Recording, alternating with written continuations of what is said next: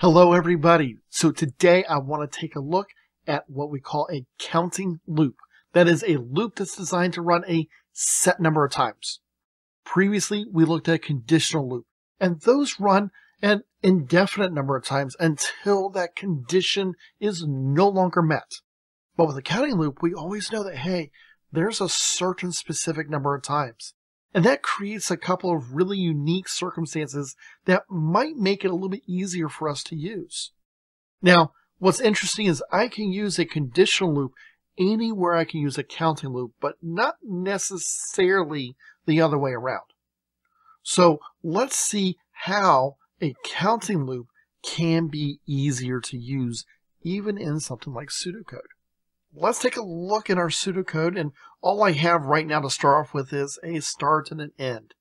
And I'm going to do something really, really simple. Just count to 10. And that's just to kind of show how we would do this.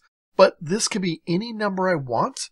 And it could be for anything or purpose I want. For example, counting the number of students I have and displaying their names one by one. Or counting up the average that I might get from those said students based upon their individual averages. So I can get a class average. I've gone down here, I've created just a little blank line. Once again, logical separation.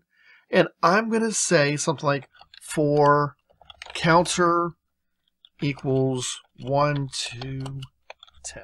Now, this isn't like a programming language. They do have for loops, and they often use that as a counting loop. It does not have to be like this, though. Now, counter as a special variable is being defined as part of our for loop. It's only used inside of our for loop, and it's going to start at 1 and go up to 10. By default, we're going to assume that we increment by 1. If we want to increment by a different number, we'll say something like increment by 2. Okay? Or we can say by 5, or whatever number we want to be. And obviously I can also replace that 1 and 10 with a variable so I can get a starting and ending number if I need to.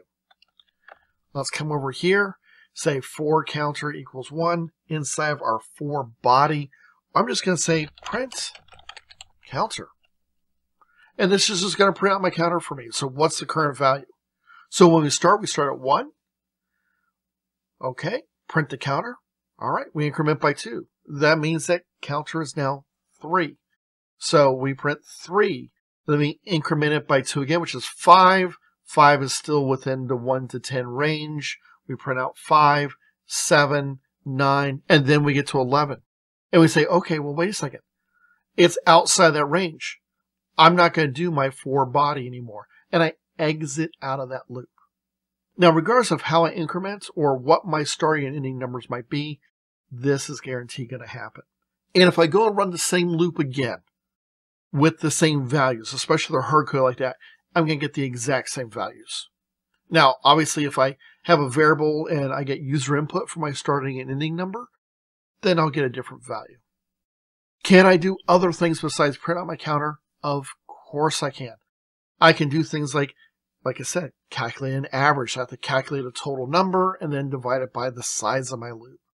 I can do other things, maybe call a defined process. You might say, wait a second, we haven't talked about calling predefined processes. Well, that's a good thing that that's going to be our next subject. So if you like this video, you might want to stick around for that video on how do we call predefined processes. I look forward to seeing you there.